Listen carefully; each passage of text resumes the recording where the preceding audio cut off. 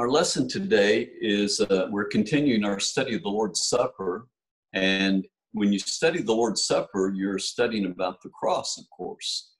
And so this is our fourth lesson uh, concerning the, the Lord's Supper. And our texts are from 1 Corinthians chapter um, 11, verse 26, and then also Matthew 26 and Luke chapter um, and Luke chapter 22. We'll read those passages. For every time you eat this bread and drink this cup, you proclaim the Lord's death until he comes. And then in Matthew 26, I will not drink it from this, I will not drink from this fruit of the vine from now on until that day when I drink it new with you in my Father's kingdom. And then in Luke 22, Jesus said, I have earnestly desired to eat this Passover with you. And then we want to talk about this uh, desire to eat this uh, future meal with him.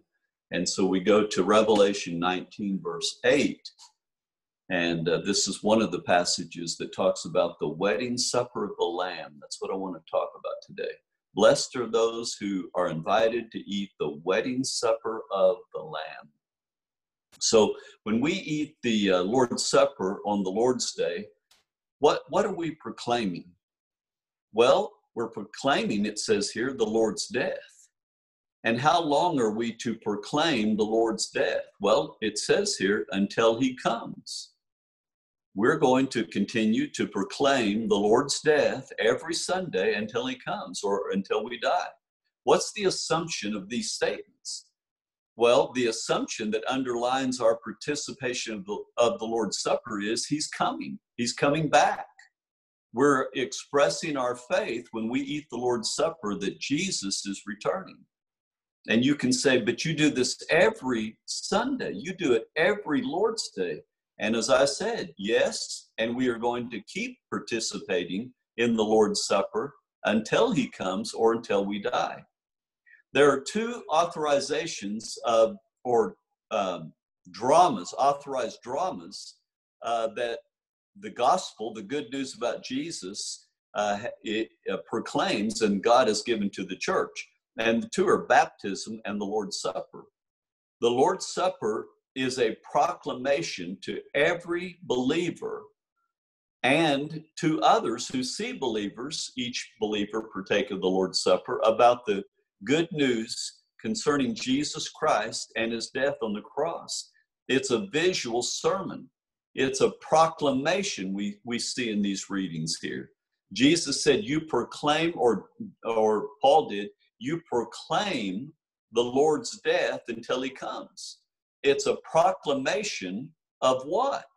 The good news about Jesus and what he's done for us on the cross. It's like the audible preaching of the, of the good news about Jesus Christ and the cross. Uh, the Lord's Supper is intended to nourish us and strengthen our faith right now as we partake of it. And so um, every Lord's Day, this is a drama and we reenact this drama of our Lord's work on the cross. The cross is pictured throughout the Lord's Supper.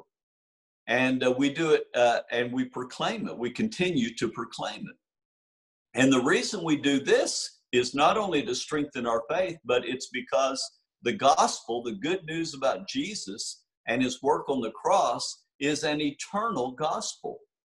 Um, the Bible tells us in Revelation John says, Then I saw another angel flying in midair, and he had the eternal good news about Jesus to proclaim to those who live on earth, to every nation, tribe, language, and people.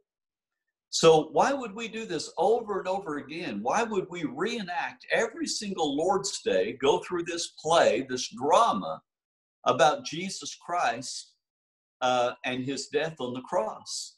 We're already believers. We already believe the good news that Jesus died on the cross for our sins. And some people might think, well, you need to go on now to deeper things. Don't go over this every single Lord's Day. but the Lord gives it to us and we reenact it over and over again. The same play, you might say, every Lord's Day. And the, the writer of Hebrew gives the reason uh, for this. He, he says, Consider him who endured such opposition from sinners, so that you will not grow weary and lose heart. We do it every Lord's Day to strengthen our faith. Now, our Lord's statements in these passages that we read should deeply affect us. Do you know what our Lord is saying when He says uh, these things? He, he's saying that He's looking forward to His coming and He's looking forward to a time when He can sit down with us and, uh, feast with us at the wedding supper of the Lamb. And yet, very few believers, I believe, link the Lord's Supper with the end of the world. And that's what Jesus is doing here. There is a direct connection between the Lord's Supper and the end of the world, the wedding supper of the Lamb that we read about in the book of Revelation that we want to talk about a little bit. This is what this is why the writer of Hebrews said about the cross that for the joy that was set before him, he endured the cross, scorning its shame. And he sat down at the right hand of the throne of God. He was looking forward. He endured that cross, that horrible, dreadful cross. He endured it with joy because he was looking forward. He was anticipating this great wedding supper of the Lamb. So, this wedding supper that we're going to talk about a little bit that the Lord's Supper looks forward to, Jesus is going to sit down with all of his people. Abraham will be there, Isaac will be there, Jacob will be there. All of these uh, dignitaries, all of these saved people, great people like Daniel, the Apostle Paul, all of the apostles, they're going to be there. And and all of us who are believers are going to be there. And we're going to sit down and we're going to feast with our Lord at this wedding supper of the Lamb. This is what John wrote in John in Revelation chapter 18. He said, Then I heard what sounded like a great multitude, like the roar of rushing waters, and like loud peals of thunder shouting, Hallelujah! For our Lord God Almighty reigns. Let us rejoice and be glad and give him glory. For the wedding of the Lamb has come, and his bride has made herself ready. Fine linen, bright and clean, was given to her to wear. Fine linen stands for the righteous acts of God's holy people. Then the angel said to me, Write this Blessed are those who are invited to the wedding supper of the Lamb. And he added, These are the true words of God. So, those of us who are believers, we're going to sit down and we're going to eat at this great feast. There's going to be great rejoicing. And we will physically see Jesus face to face. All of our sorrow, every tear is going to be wiped away from our eyes. And we will serve him forever in a new heavens and, and, uh, and the new earth. So we look forward to this. Believers, when we participate in the Lord's Supper, we're looking forward to this day, you see. And Jesus himself is looking forward to this day. Now, I want to say just a little bit about the book of Revelation. The book of Revelation, you know, it's always seemed remote to me. I confess that I have avoided most of my life, as I also did most of my life the book of Romans and Galatians as well, because um, I never really understood uh, that we're saved by grace and how that we're saved by grace for the largest part of my life. I would have said, yes, we're saved by grace, but I really, and then I would have spent the rest of my time trying to prove that we're saved by works. And uh, so Romans and Galatians were just like trying to fit, you know, a round peg into a square hole and vice versa. I, they were impossible to understand with, you know, the kind of misunderstanding that I had of grace that we very seldom, by the way, taught about in the denomination that I grew up in. But I had a hard time. I had a hard time forcing my theology that I was uh, raised and soaked in myself with the teachings of Paul in Romans and Galatians on the one hand. But on the other hand, I wasn't sure that my denomination had the right interpretation of uh, Revelation as well. And I wasn't comfortable, and I'm still not comfortable with many interpretations of Revelation today. I don't know a lot, but I do know one thing that every single generation for 2,000 years has always looked to the events of their, their generation and said that the book of Revelation is fulfilling those events, and every generation was wrong. So, you know, I, I struggle with uh, the interpretation of a lot of things in Revelation. But, and, and a lot of it's very puzzling. You know, it's, it's uh, almost bizarre in fact, it is bizarre. Page after page is bizarre, and there's frightening images.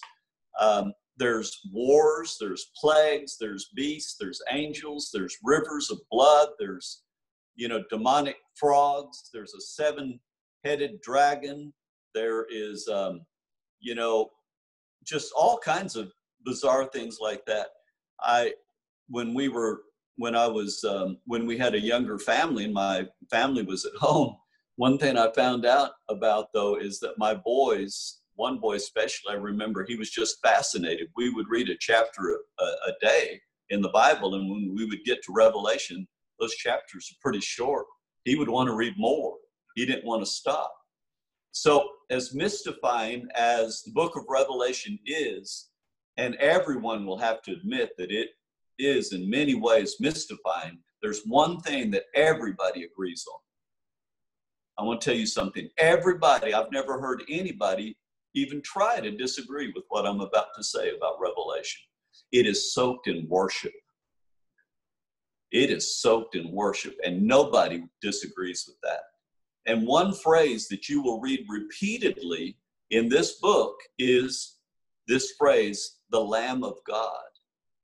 You see, we're going to sit down at a wedding, a great wedding supper and we're and we're going to sit down with the lamb of god now this phrase lamb of god doesn't surprise any one of us all of us who are listening live here anybody who will listen later if you've had any connection at all with religion or christianity at least a christian form of religion you're not surprised with this phrase lamb of god we frequently sing about the lamb of god when i went to the internet to look up some things, which I frequently do when I'm getting a lesson together. I check things out sometimes.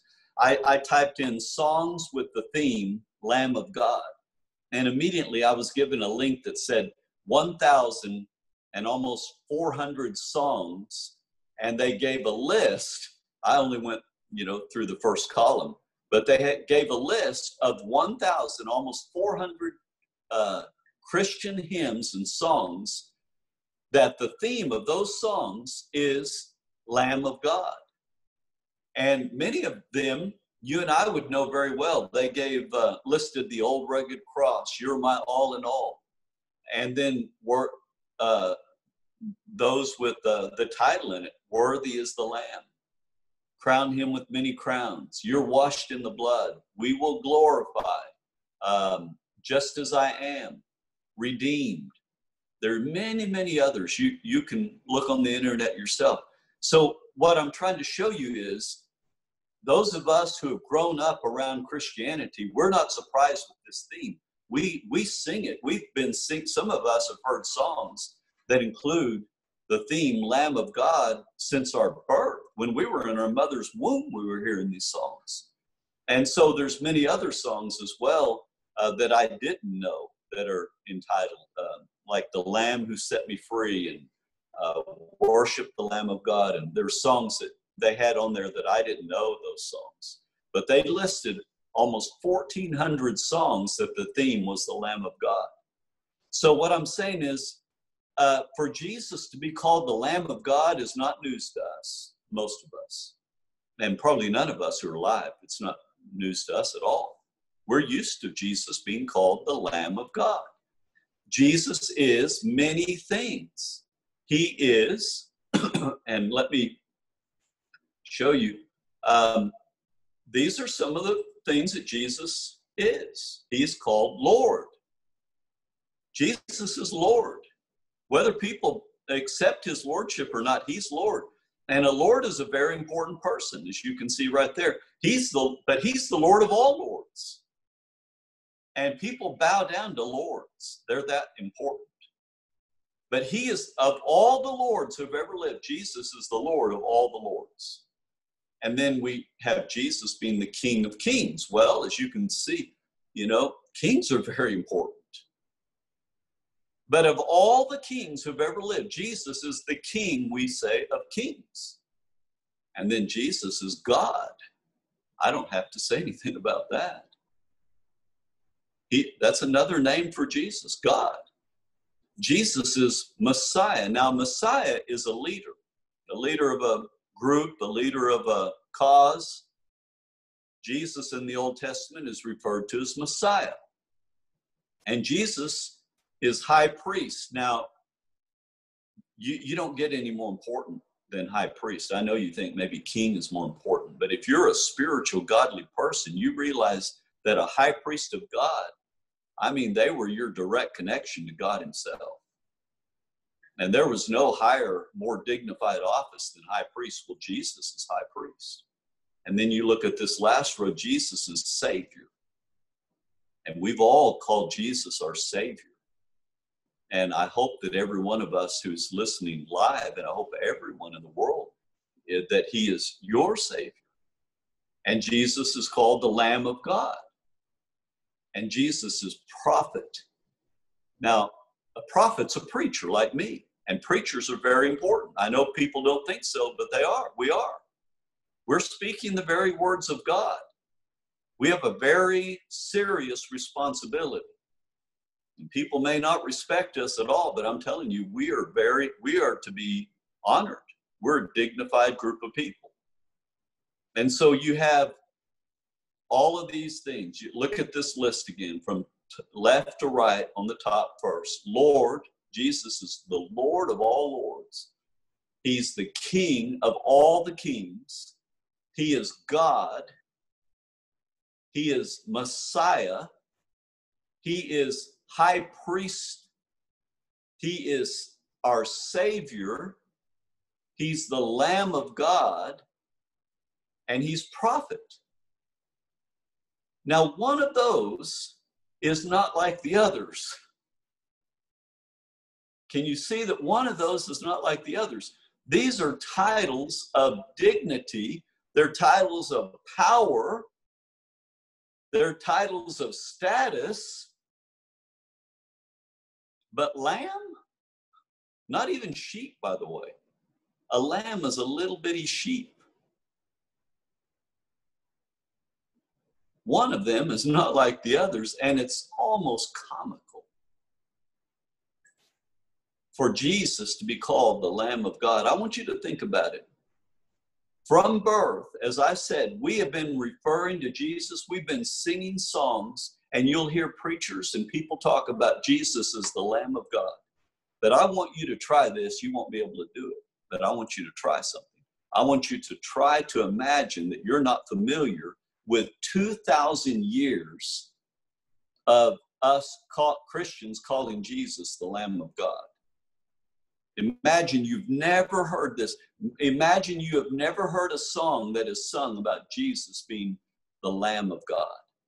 You've never heard him called that by anybody. You've never even heard him compared to a lamb, much less say that he is the Lamb of God. Well, I'm telling you, if that's the case, that title seems comical alongside those other titles of Jesus. Are you kidding me? Your leader, you call him the lamb, a lamb? Now we can easily imagine Jesus as king. You know, he's the lion of Judah. And kings are, I mean, lions are kingly. You know, they're king of the jungle. Nobody messes with them. And if you ever go into a jungle and you see them, they're not afraid of anything. They're not afraid of anybody else either. They are literally the king of the jungle.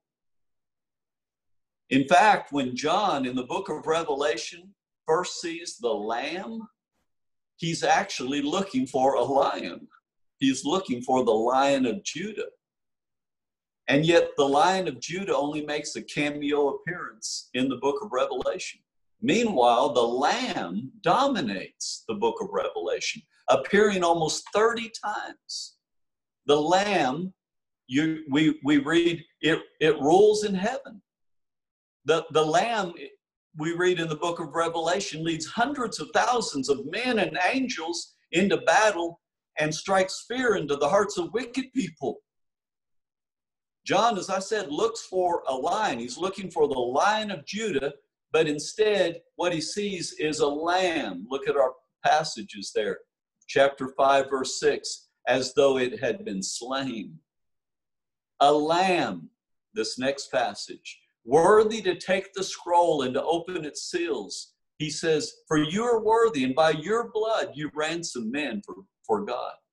Heaven and earth give glory to Jesus Christ as God, to him who sits on the throne, and to the Lamb be blessing and honor and glory and might forever and ever.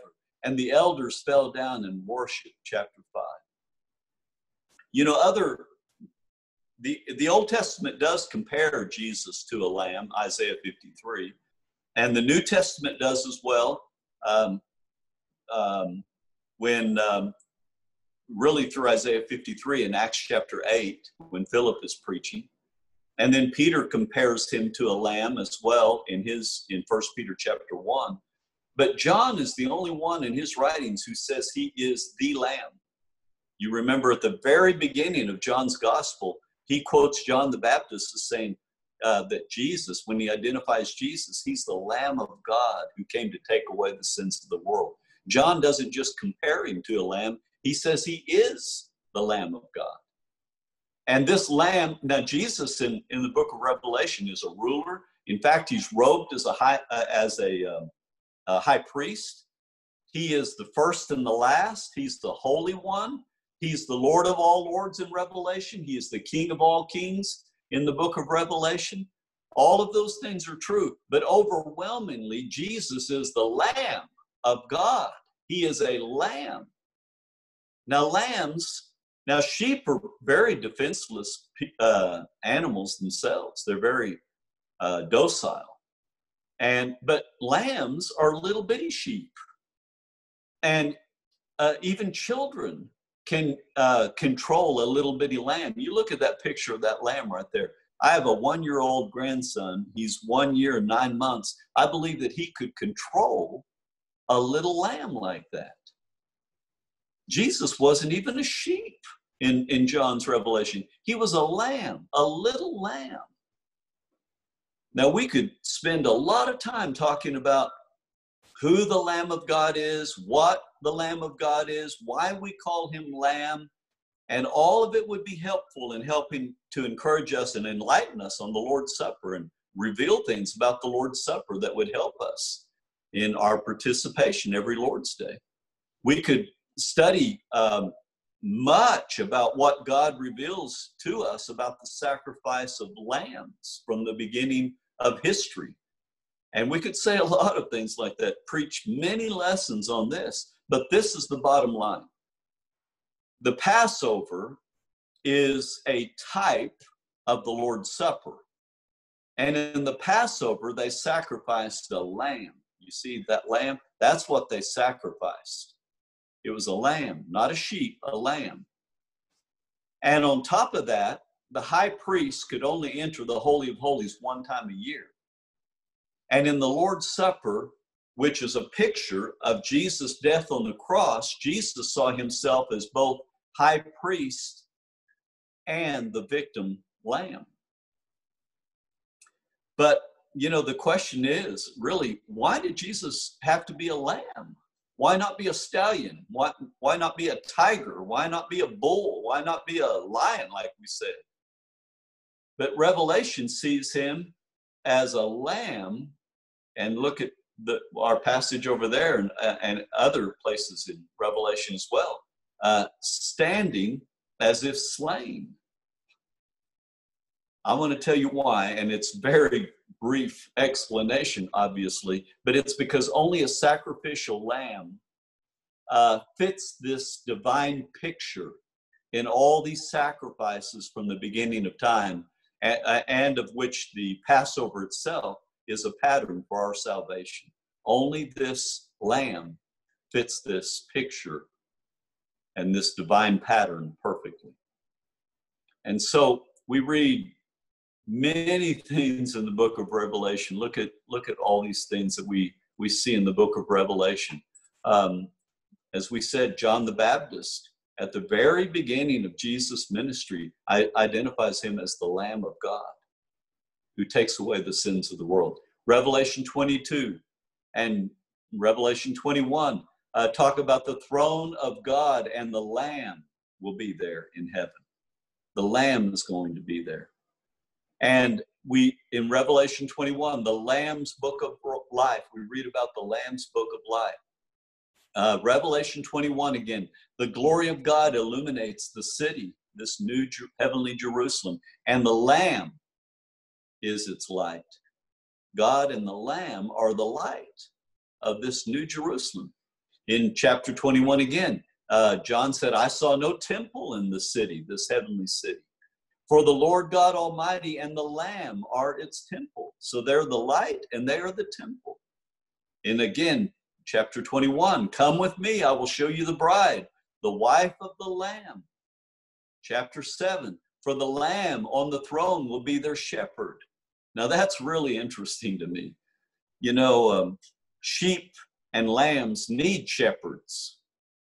We don't say that they are shepherds, but here, the lamb that's on the throne will be our shepherd and he will lead them. That's what shepherds do. They lead, they lead sheep. Shepherds lead sheep. He will lead them to springs of living water, and God will wipe away every tear from their eyes. And then in chapter 19, the time has come for the wedding feast of the Lamb. That's what we're looking forward to right there. All right, so ordinarily I don't uh, have songs in the middle of the lesson, but today I want to because, you know, if you're like me, I I do better when I have just studied something and then I sing a song that has words about the Lamb. So I want to uh, sing a song now and, about the Lamb of God with all the, you know, we haven't said much about the Lamb of God, but we've said it enough, hopefully, that maybe this song that we sing together will will help us. And let me try to get it going here. Okay.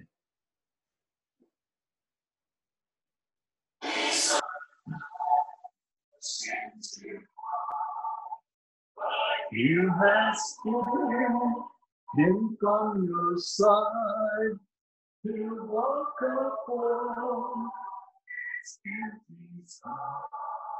And to become the Lamb of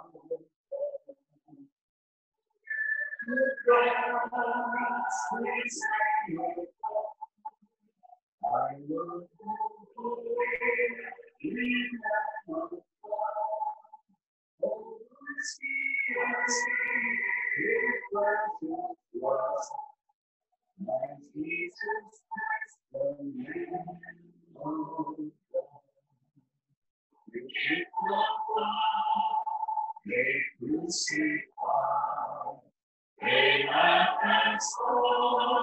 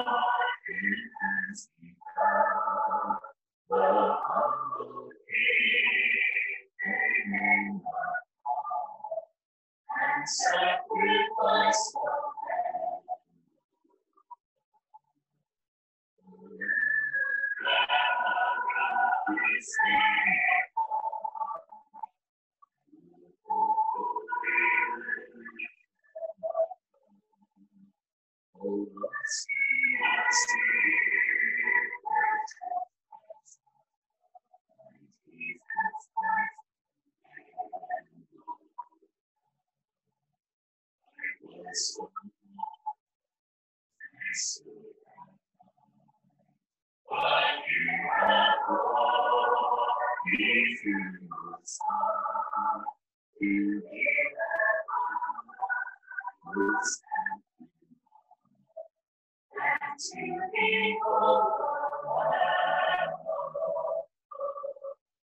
Lamb of God, sweet Lamb of God, Holy Lamb of God, oh, wash me away with. Jesus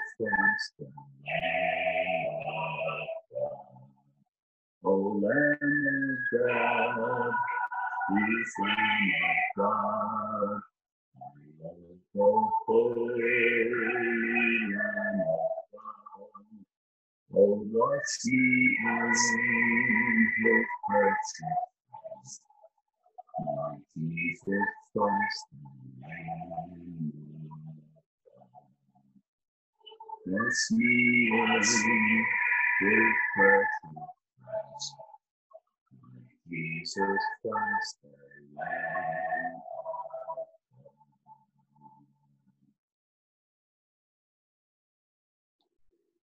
All right. That's a beautiful song, and I hope that it was more meaningful um, and maybe helped you in your singing of it after we said a few things about the Lamb of God.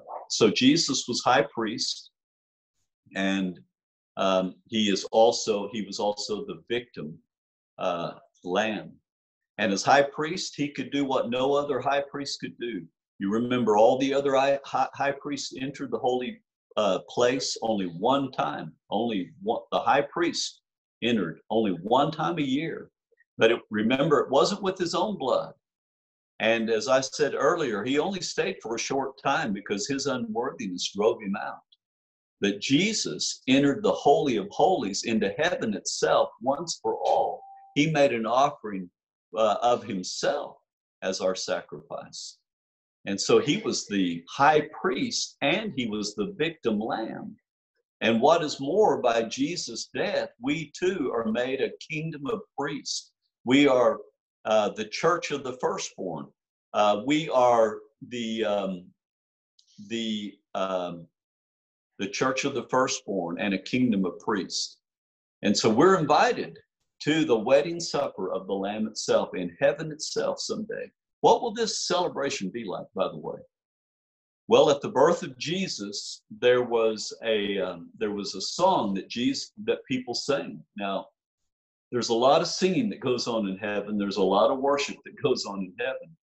But uh, listen to one of the songs that the angels sang when Jesus came to this earth when he was born. Glory to God in the highest heaven, and on earth peace to those upon his, whom his favor rests. And uh, this is echoed in um, in uh, the great song of Moses in Revelation chapter 15. We read, and the angels and the host sang the song of God's servant Moses and the Lamb. Great and marvelous are your deeds, Lord God Almighty. Just and true are your ways, uh, King of the nations. Who will not fear you, Lord, and bring glory to your name? For you alone are holy. All nations will come uh, and worship before you, for your righteous acts have been revealed. And we sing that song that the angel and believers sing before the throne in Revelation chapter 4, verse 8. Each of the four living creatures had six wings and was covered with eyes all around under its wings. Day and night they never stopped saying, Listen to this Holy, holy, holy is the Lord God Almighty, who was and is and is to come. And this is the same thing, actually, as Isaiah saw in his um, heaven uh, revelation as well. In Isaiah chapter 6, he said, and they were calling these same angels uh, that had these six wings. He said they were calling to one another, Holy, holy, holy is the Lord Almighty. The whole earth is full of his glory. so, I ask you uh, today, um, why is Jesus looking forward to this day? Why is he looking forward to this great feast, this great wedding supper of the Lamb? You know, who am I that he would look forward to sitting down with me and he would endure the cross with joy? And he looks forward to that day when he will drink it anew with me in his kingdom. It's amazing that he's looking forward to that day. And Jesus is inviting all of us to this supper. In Revelation chapter 3, Jesus says, Behold, I stand at the door and knock. If anyone hears my voice and opens the door, anyone, he said, I will come into him and eat with him, and he with me. Jesus wants to eat with us. It's amazing. And then look at this passage on, on the right. Then I heard what sounded like a great multitude like the roar of rushing waters and like loud peals of thunder shouting, Hallelujah! For our Lord God Almighty reigns. That's one reason I chose that song today. Let us rejoice and be glad and give him glory.